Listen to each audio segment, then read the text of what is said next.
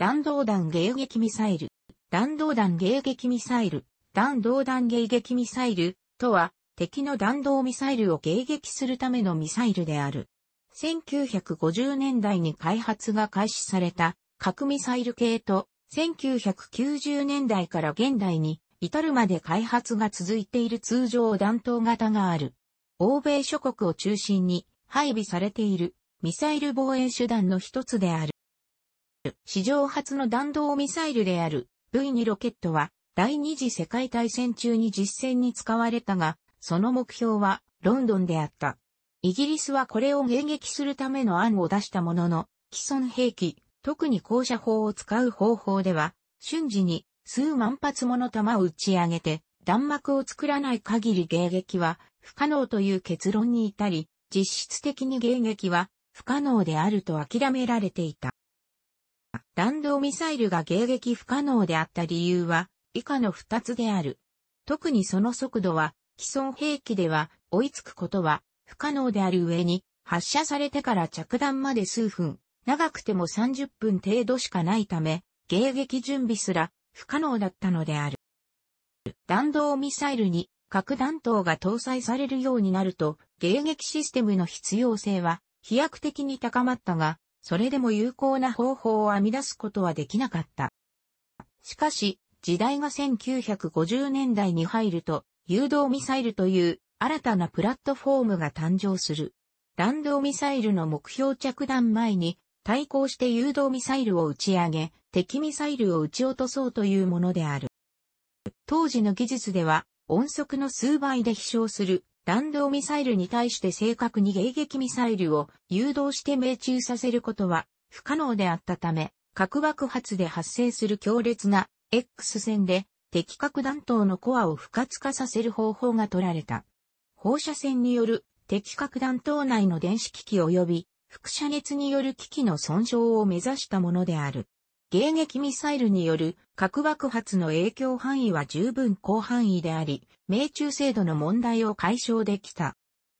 しかし、たとえ迎撃できたとしても結局は自国上空で核兵器を起爆させ、自国領内で核爆発が起こることには変わりないという大きな問題点があった。また、高高度での核爆発は、その際に大量のガンマ線を撒き散らし、広範囲に電磁パルス障害を引き起こすことは避けることができず、味方勢力も影響を受けるほか、敵国の第二次攻撃への対応に困難が生じるという問題も存在していた。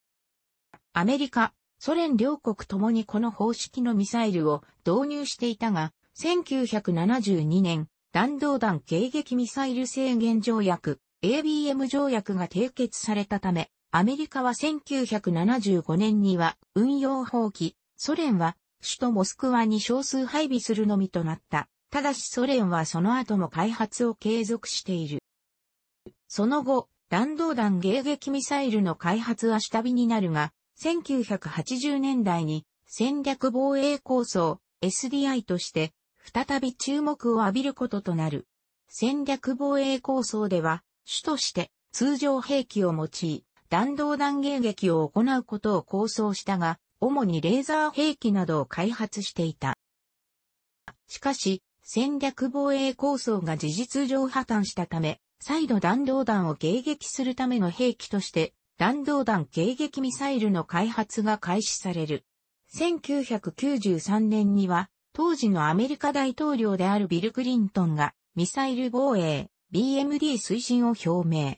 本格的な開発がスタートする。1999年には日本も共同開発という形でこれに参加した。2001年にはブッシュ大統領がミサイル防衛 MD 推進を改めて表明するとともに翌年には ABM 条約から脱退する。これによって同条約は実質的に無効化した。2003年には日本も MD 導入を閣議決定する。現在日米共同で開発が進行中であり、2011年に本格配備を目指している。弾道弾迎撃ミサイルには、1950年代に開発が開始された各弾頭搭載型では、アメリカがナイキゼウスを1957年から計画、1962年には本格的に開発を開始するが1972年までに実用化に立っていないため廃棄されたほか、スパルタン、低空用のスプリントがある。なお、ABM 条約締結後に配備されたセーフガード計画を実践配備したが、これは1975年10月1日、ノースダコダ州に配備されたが翌日に、会員で閉鎖案が可決してしまい、廃棄された。使い物にならないという結論が下ったようである。その後開発はしたび、実質的な中止になった。ロシア、ソ連では1962年には、ガルッシュ迎撃ミサイルの配備が始まり、その後改良が重ねられ、1995年に高高度迎撃には、低高度迎撃にはを使用する ABM-3、ロシア名は A-135 シスムを導入しているが、これらはいずれも核弾頭を搭載している1950年代式である。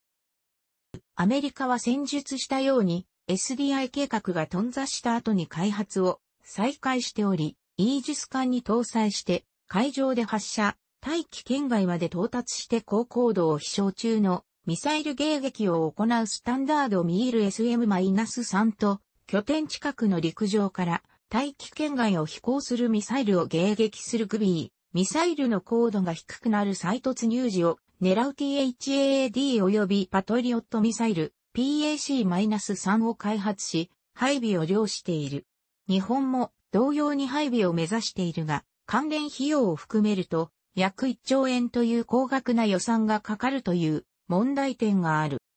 楽しくご覧になりましたら、購読と良いです。クリックしてください。